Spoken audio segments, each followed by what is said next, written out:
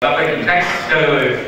trời giá lúa đầu xuân ở điểm A khoản 24 điều 2 một số cái đang quy định mức hỗ trợ không quá hai hecta là chưa hợp gây khó khăn ở đây chọn đối tượng để phân bổ hỗ trợ. Vì nhiều huyện núi có diện tích ít nhưng cũng đạt đến hai hecta nhưng vì hợp phải phong của dấu do đó cần nghiên cứu quy định này và tỷ lệ hỗ trợ à, hợp lý. À, xin báo cáo là riêng cái này á thì về chính sách trời giá dòng lúa xuân mới. Thì xin giải thích cho quý vị hiểu rằng ờ, ở đây á, là ngành muốn đưa thêm một cái giống mới mà có độ xuân có năng suất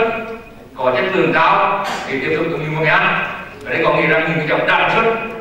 Ví dụ như thiếu tám NH2, NH6, Jamonica và một số giống đang xuất trên hiện đại thì không được ứng dụng. Ở đây là muốn tìm hiểu tìm trong trong thời gian tới thì ngành à, một một một vai mới. Đó là chưa trên địa bàn đấy trong cái khảo nghiệm thử nghiệm trong ở cả các cái viện khoa học rồi các cái công ty ờ, lớn có khảo nghiệm xong thì đưa vào công ty Hương An. Và cái này chắc chắn là không nhiều chỉ một đến hai triệu một năm.